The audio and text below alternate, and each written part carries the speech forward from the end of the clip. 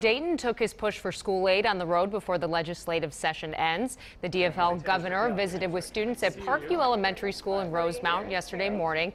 It's in a district facing a multi-million dollar shortfall next year. Dayton wants the Republican-controlled legislature to approve nearly $140 million in aid for schools. So we're talking about the quality of education that these children depend upon, and there's no going back. There's no way back to third grade or fifth grade if uh, that uh, resource isn't there. They they miss out. Pat Kessler is now live at the Capitol. Pat, so we have obviously uh, seen the governor. This has been a big, yeah. uh, big priority of his education over the years. But now that he's going to be leaving office soon, do you think that this is him sort of trying to cement his legacy a little bit by pushing this? Well, it's an interesting question, and I'd say the answer is no. He wants some emergency funding here.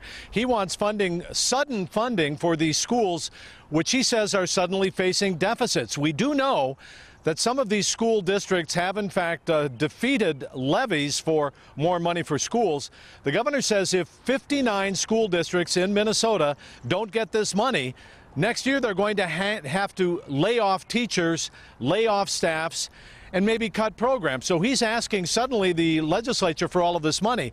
I got to tell you, here at the legislature, the Republicans are very skeptical. They say these schools have plenty of money to do with what they want. Might be tight, but it's not an emergency. So we're not clear at all which way this thing's going to go before the session ends. It is interesting, Pat, because typically if you have an appeal for emergency funding, there's something that triggered yeah. it, right?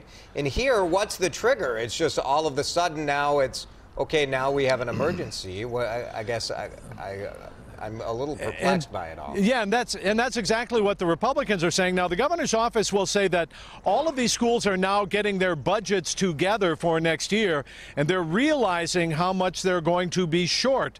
Uh, and we have been behind on school funding, even though money has been going into schools. Uh, the, they say that they have been lagging on school funding. One important thing. Republicans say that the governor has spread out funding to a lot of different kinds of programs, like pre K programs, all day kindergarten, and they say some of that money could be going into the schools. So this is very controversial. At this moment, just a few days before the end of the session, I would say the governor's not going to get this money, but we're still a ways away to find out.